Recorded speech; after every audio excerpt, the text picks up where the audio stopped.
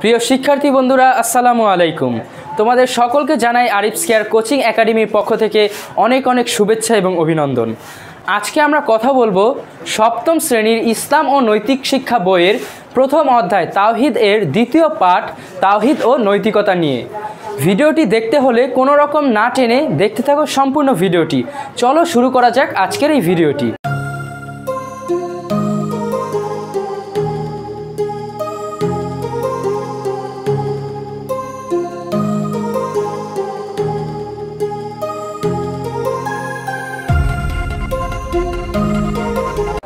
প্রিয় শিক্ষার্থীরা, তোমরা দেখতে পাচ্ছ যে আমি বোর্ডে তোমাদের জন্য কিছু টপিক লিখে রেখেছি।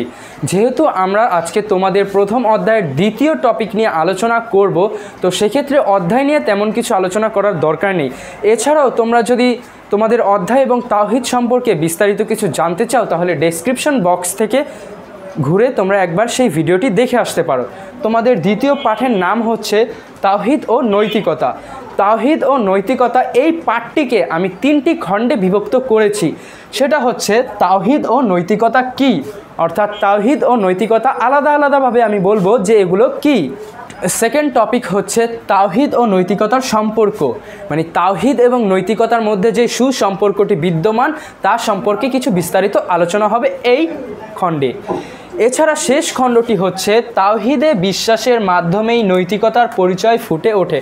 অর্থাৎ তাওহিদে বিশ্বাসে এবং আমল করার মাধ্যমে যে নৈতিকতার যে বৈশিষ্ট্যগুলো রয়েছে তা ফুটে ওঠে, তা বিস্তারিত আলোচনা হবে এই খণ্ডটিতে। তো কথা না বাড়িয়ে শুরু করা যাক আজকের এই টপিকটি।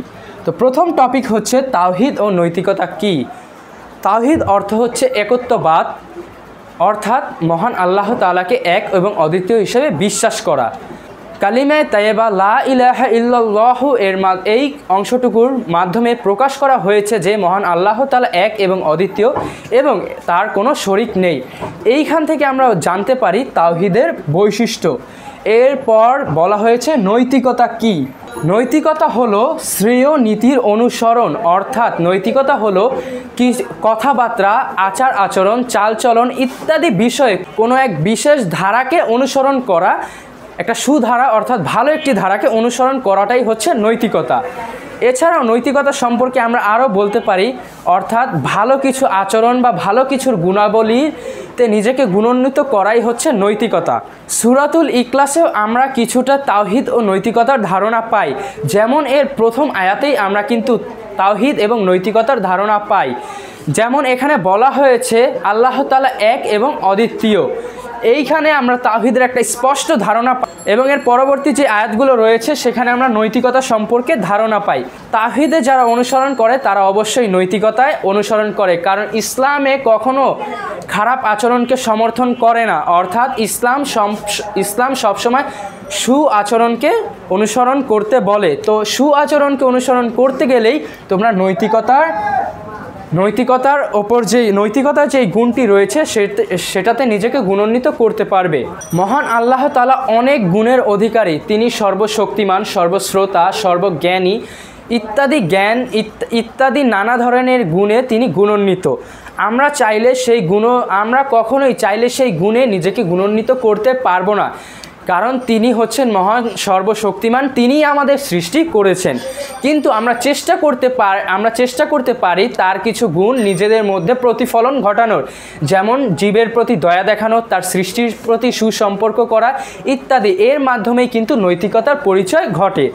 তো আমরা যেহেতু আমাদের প্রথম টপিক সম্পর্কে অনেক কিছু আলোচনা করে ফেলেছি, তো এখন আমরা চলে যাচ্ছি আমাদের দ্বিতীয় টপিক, সেটা হচ্ছে তাওহিদ ও নৈতিকতার সম্পর্ক। তাহিদ ও নৈতিকতা সম্পর্কে যেহেতু প্রথম খণ্ডে আলোচনা করা হয়েছে, এখানে আর বিস্তারিত কিছুই বলার প্রয়োজন নেই। আমি এখানে বলব যে এদের দুইটা এক পাটে আনার প্রয়োজন কি? অর্থাৎ এই দ্বিতীয় পাঠে তাহিদ ও নৈতিকতা একসাথে আলোচনা করার কি দরকার ছিল?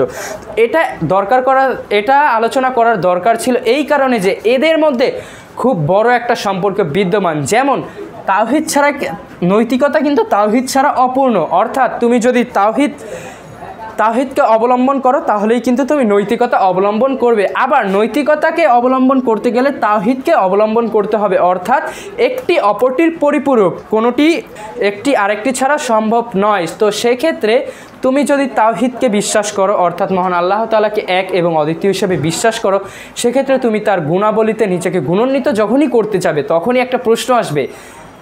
যে আমি কি নৈতিক গুণে গুণান্বিত? অর্থাৎ তোমার তুমি অবশ্যই তাহিদে বিশ্বাসের মাধ্যমে নৈতিক গুণে নিজেকে গুণান্বিত করতে পারবে।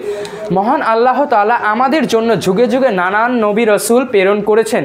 তারা সকলেই কিন্তু তাওহিদের ওপর অনেক বিশ্বাসী ছিলেন এবং এর ওপর বিশ্বাস করে তারা কিন্তু আজ পৃথিবীতে চিরস্মরণীয় হয়ে আছেন। আমরা তাদেরকে অনুসরণ করি।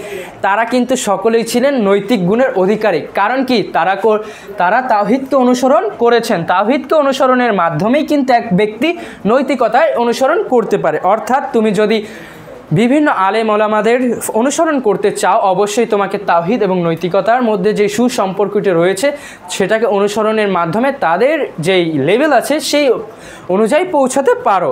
তো সেক্ষেত্রে তুমি যদি তাওহিদ এবং নৈতিকতার সম্পর্কটি বুঝে থাকো, তোমার জন্য সহজ হয়ে যাবে যে তুমি যদি ভালো আচরণ করো, তাহলে তুমি তাহিদেরও অনুসরণ করছ, আবার নৈতিকতার অনুসরণ করছ। কারণ নৈতিকতা মানেই হচ্ছে কিছু সুন্দর ধারা, মানুষের কথাবার্তা, চালচলন ইত্যাদির মাধ্যমে প্রকাশ করা। তো যেহেতু আমাদের দ্বিতীয় টপিক আলোচনা শেষ, আমরা আমাদের, আমরা চলে এলাম আমাদের শেষ টপিক সেটা হচ্ছে তাহিদে বিশ্বাসের মাধ্যমেই নৈতিকতার পরিচয় ফুটে ওঠে।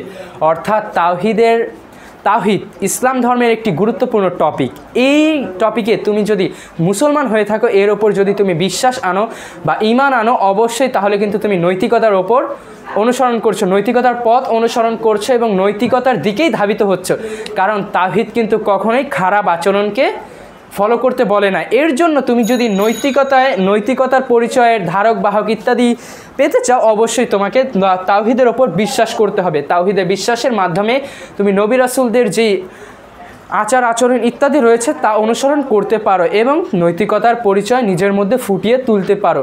নৈতিকতার পরিচয় তুমি যদি ফুটিয়ে তুলতে পারো তো সেক্ষেত্রে তোমার জন্য ইহকাল এবং পরকালে দুই জায়গাতেই রয়েছে খুব ভালো পুরস্কার। তাহলে বিশ্বাসের মাধ্যমে তুমি ইহকালে মানুষের সাথে যে সুসম্পর্ক গড়ে উঠবে তার মাধ্যমে তুমি সমাজে ভালো একটা স্থান দখল করতে পারছ এবং এছাড়াও তাহিদে বিশ্বাসের মাধ্যমে তোমার যে নৈতিকতার পরিচয় ফুটে উঠছে তার মাধ্যমে তুমি সমাজের সকলের সাথে সুভাব, তাদের সাথে বন্ধুত্ব সুলভ আচরণ এবং খারাপ কাজ থেকে বেঁচে থাকতে পারছ।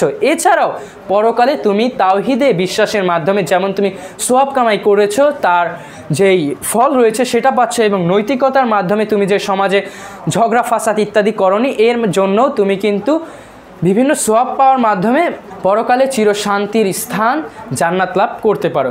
তো এই ছিল আজকে আমাদের এই সম্পূর্ণ টপিকটি। আশা করি তোমাদের আজকের এই ভিডিওটি ভালো লেগেছে। যদি তোমাদের আজকের এই ভিডিওটি ভালো লেগে থাকে, তাহলে অবশ্যই আমাদের এই চ্যানেলটিকে সাবস্ক্রাইব করবে এবং লাইক, কমেন্ট, শেয়ার করবে এবং তোমাদের বন্ধুর সাথে বেশি বেশি শেয়ার করবে যাতে তারা এই ভিডিওটির মাধ্যমে উপকৃত হতে পারে।